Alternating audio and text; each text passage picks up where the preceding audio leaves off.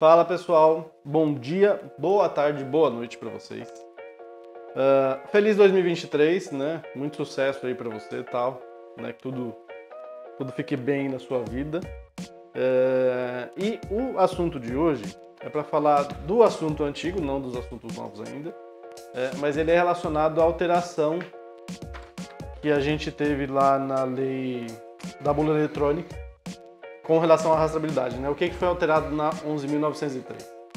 Porque tem um ponto importante aqui, que foi uma pessoa, eu não vou falar o nome da pessoa porque eu, eu não combinei de falar o nome dela, né? Mas uma pessoa que eu conheço já há algum tempo por conta desse assunto da rastreabilidade entrou em contato e falou assim, Rodrigo, será que eu tô ficando maluca mesmo?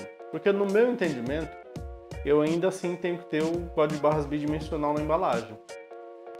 É isso mesmo que é o seu entendimento? Eu até falei assim, ó, eu preciso ler de novo é, para dar uma lembrada. Faz uns três meses que eu não, não toco mais nesse assunto. Aí eu fui pegar as minhas anotações antigas e rever exatamente o texto.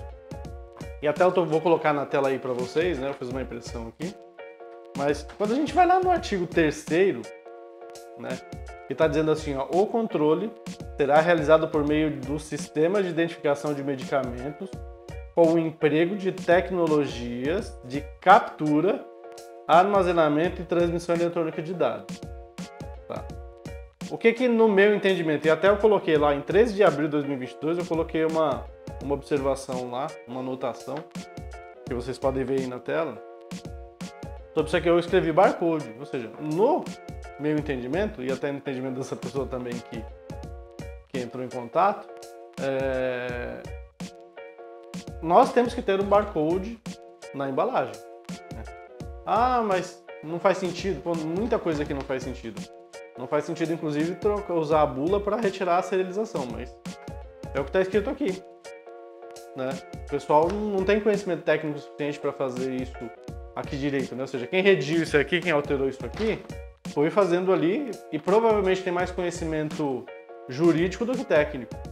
Tá? Mas o que está aqui está dizendo que nós temos que ter um código data matrix na embalagem, ele pode não ter o serial, mas ainda assim a gente tem que ter o emprego de tecnologias de captura, captura barcode, né? Armazenamento e transmissão eletrônica de dados contendo minimamente as seguintes informações. É aí que a gente tem ali a, a revogação do número serial e mantém-se aqui, né, o, o o número do lote. Primeiro, mantém no primeiro aqui, ó, o número do registro do medicamento.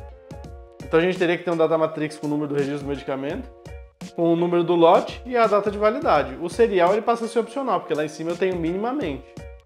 É, minimamente essas informações. Então, é... na prática, na prática em relação a esse assunto, quer dizer que você deveria considerar que ainda assim você vai ter que manter equipamentos de impressão na linha de embalagem secundária.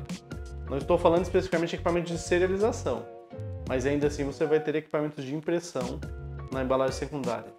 Ah, mas aí não precisa ser o mesmo tipo de equipamento? Não necessariamente. Mas ele é muito parecido. Por quê? Porque além de imprimir, você vai ter que checar. Né? Porque se você pegar lá 658, tudo que você imprimir na caixa, você tem que checar. Então, se além de imprimir você vai ter que checar, você vai continuar tendo impressora e vai continuar tendo câmera. Então não mudou muito, e eu até falei isso numa live que eu fiz lá no passado, quando a gente estava discutindo essas alterações do PL. Do ponto de vista de linha de embalagem, não mudou muito. Ainda assim, no nosso entendimento, né, no meu entendimento, até que a Anvisa mude alguma coisa, porque no Brasil tudo muda, né? Até que alguém mude alguma coisa, faça um guia, faça alguma coisa dentro que não precisa, o que eu entendo aqui pela legislação é que ainda assim a gente precisa de equipamento de impressão, de marcação e de checagem na linha de embalagem é, secundária. Tá? Então é isso que eu queria dizer para vocês. Vou deixar aqui embaixo desse vídeo um link para que vocês possam acessar esse documento. Na época era uma comparação né, da 11.903 já com o PL. Eu vou até dar uma atualizada nele, porque eu não lembro exatamente se se passou integralmente com o PL, né? Mas eu vou dar uma atualizada, até esse vídeo ser publicado já vai estar atualizado. Mas vocês vão poder é, ver adequadamente e entender isso aí, tá? Então, espero que você tenha gostado do vídeo. Feliz 2023. Fique com Deus e até a próxima. Tchau!